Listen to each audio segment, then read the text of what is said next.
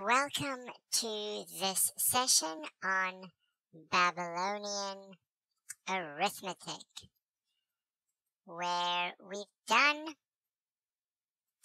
some addition and we've done some subtraction, and next and last we have to do some multiplication.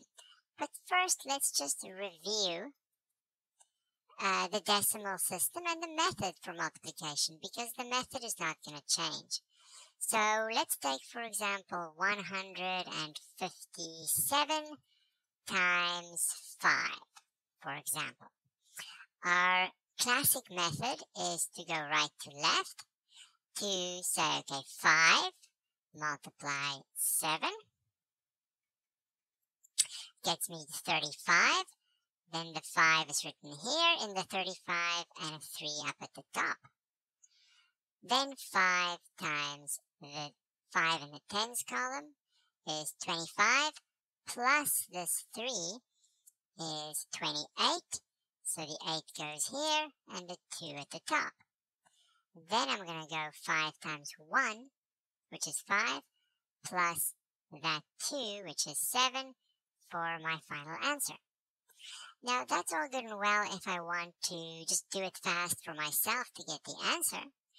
But in terms of seeing what the detail, what I'm doing, or explaining it to someone else, it's not as convenient.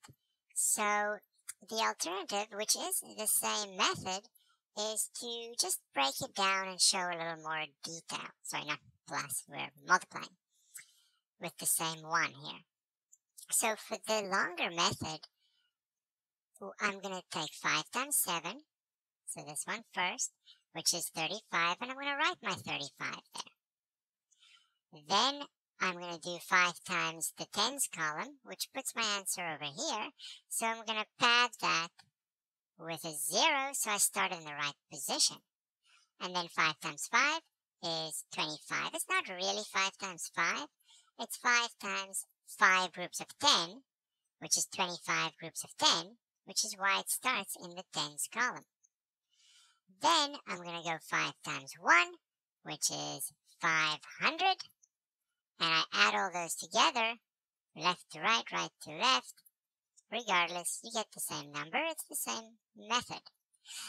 So this right, more detailed version is perhaps preferred if you want to be more careful, avoid little mistakes.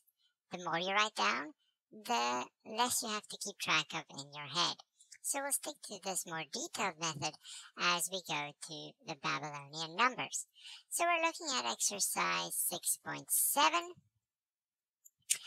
um, part A first. Now the first part of my, the first step in my method is to line things up. Not that we're going to make that second number super complicated, but I want to, just like the other methods, line things up carefully. So I have 13, and then I have 49,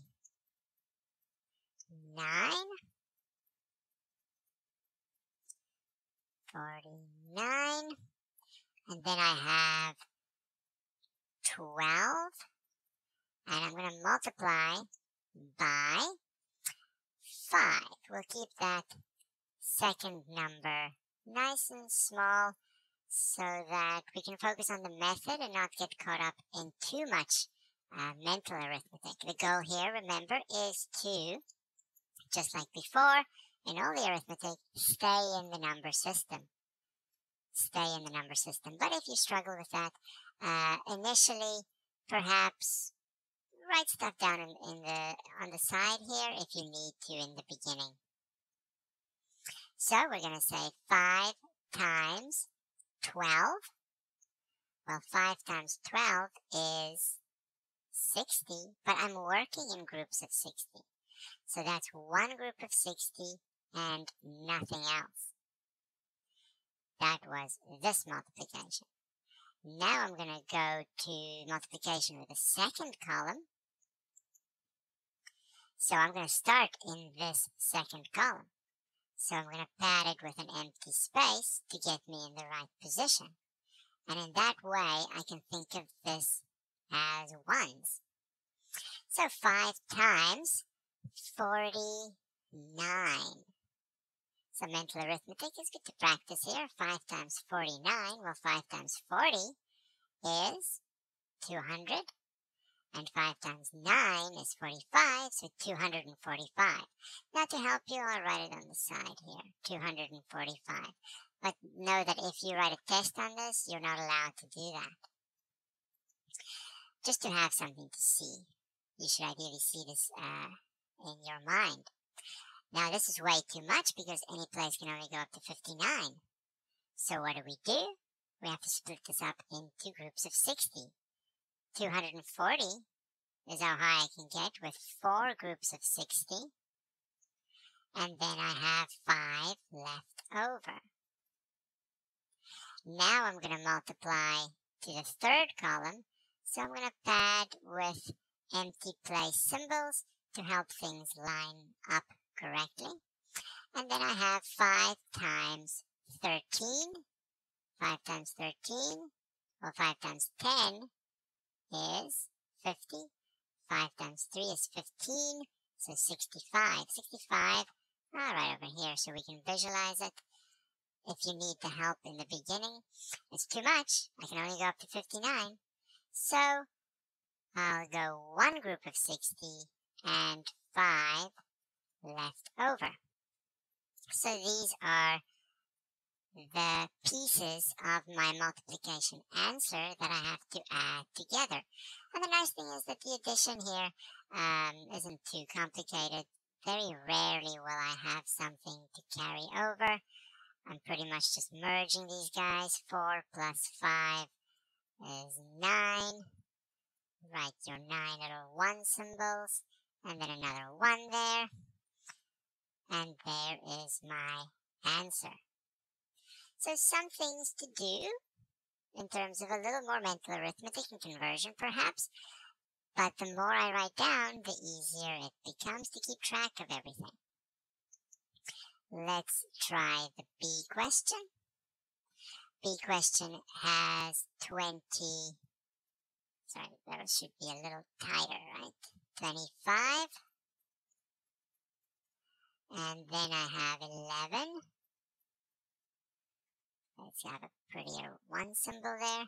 And then I have a 5 in the ones position. And I'm multiplying this time by 7. We're going to keep that second number fairly small. Certainly not worried about double digit multiplication at this stage. Alright, so 7 times 5 is 35, and that can certainly fit in. 35. I can go up to 59, so that's more than enough space. Then I go to my second column, padded with an empty symbol to get me in line. 5, no, not 5, this is 7. 7 times 11 is 77, that's too big. So see the 77, don't write the 77. 77 is one group of 60 and 17 left over. Then I'm going to go to my third position. So I'm going to pad it with empty place symbols, which you can see as zeros, to get me in position. Five well, I keep saying 5. I'm thinking of the previous example. This is 7 times 25. 7 times 25. Well, 7 times 20 is 140. 7 times 5 is 35. So I get, uh, perhaps you're struggling with the mental arithmetic. Uh, that comes with practice, so let's write that down a little bit. On the side, remember that you can't actually do that. We're doing 7 times 25, so that's 140, covering the 20s. Mental arithmetic is more efficient if I go left to right, and 7 times 5 which is 35, for a total of 175. But that's way too big for my 60s spacing. So I have to break that into groups of 60. That'll be almost three groups of 60, not quite. Two groups of 60 to make 120 plus 55. So two groups of 60 plus 55.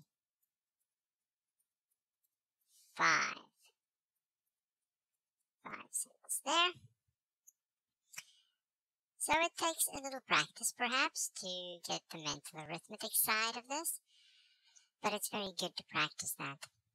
So then I add up, this just stays 35.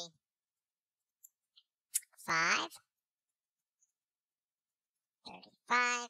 This just comes down as seventeen.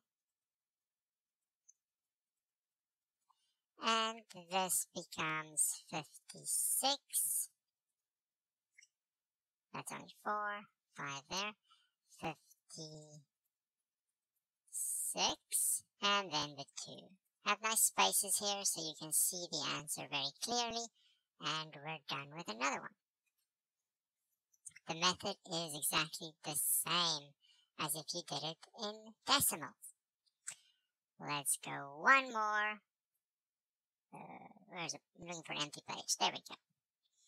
Let's do number C. We have 15. Fif whoopsie, 15 there. And then 20 and then another 20 times, uh, we're going to go 10 this time. In Babylonian, that is a single digit number and easy to do with mental arithmetic. So I have 10 times the first 20 there. That's 200. 200 is too big. 200 will be three groups of 60, accounting for 180, and 20 left. Then I'm going to go to the second column. So I'm padding with some empty place symbols to put me in position. 10 times 20 again is 200. That's three groups of 60 relative to that column and 20 left. Then I'm going to go to the third column and I'm going to pad it with two empty places to get me in position. 10 times 15 is 150. 150 will be two groups of 60 using 120 and 30 left. So 10 is actually um, much easier to work with because I'm used, I'm doing the mental arithmetic in decimals, of course, in my head. Then I'm adding to get right to left 20. Here I get 23. Here I get 33. And here I get a 2. So I'm staying in the Babylonian number system. I don't convert to decimal, then do the multiplication, then convert back.